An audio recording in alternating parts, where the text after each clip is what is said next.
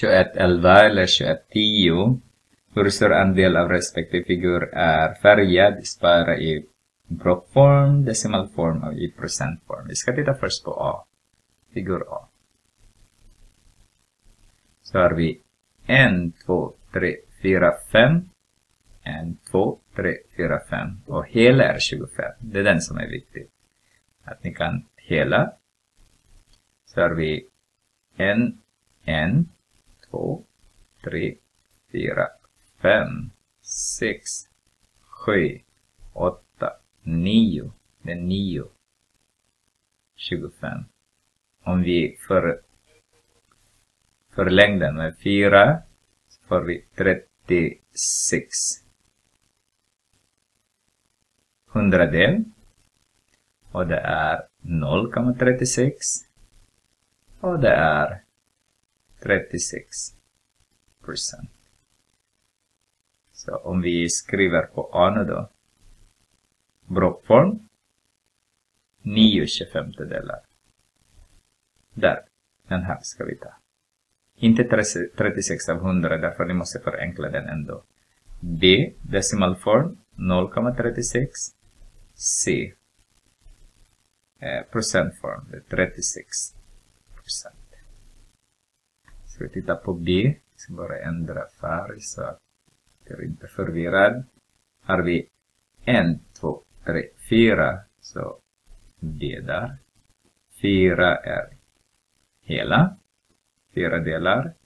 Så har vi I kanske inte. Kanske det är 8. Vi ska bara göra det till 2 där då. Så.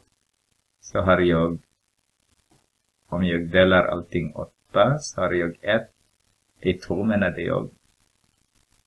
Så, som ni ser nu, så har jag tre åttondelar.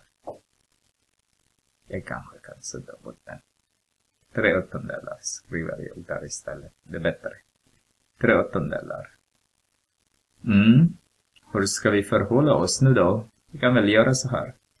Om vi dividerar den så har vi tre 3 åttondelar är 0. Och sen det blir 30. 24 är det närmaste, så det är 3. Och sen vad blir det?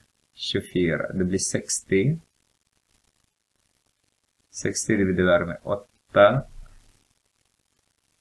8 gånger 7 är 56. 56 är det närmaste. Så 7. Och det är 56, det är 40 kvar. Är 4 kvar, så det är 45. Och om vi multiplicerar det med 0,375 med 100 så får vi 100 procent menade jag. Så har vi 37,5 procent. Så om vi svarar på de frågorna, tre åttondelar, B, åttondedelar kanske heter det, 0,375 och C, 37,5 procent.